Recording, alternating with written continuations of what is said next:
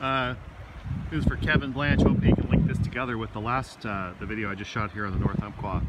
As I said, you know, I'm a big student of uh, Zane Grey, or I guess fan of Zane Grey, his fishing adventures um, in the Pacific Northwest. Um, I'm really uh, basically have spent devoted my life to learning all the rivers and how to fish for steelhead and salmon.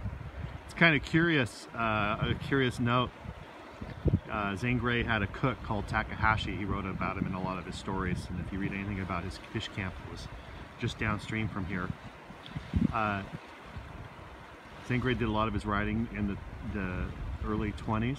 And uh, hard to imagine he had a cook from Japan. I'm not sure what part of Japan. Uh, named Takahashi.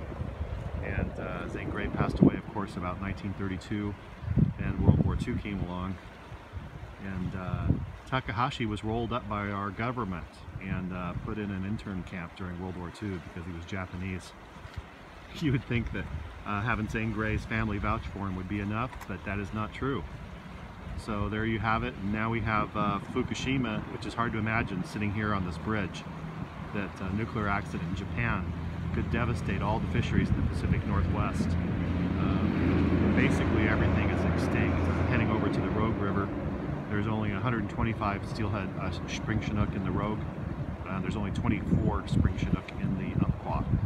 And there's only a couple rivers in the world that have spring chinook. Uh, these two, the Umpqua, the Rogue River, the Willamette River, and the Columbia River. And that's it. Very finite and uh, very dead. Uh, hard to wrap your head around. I can see clear to the bottom here. There's no, uh, there are no salmon.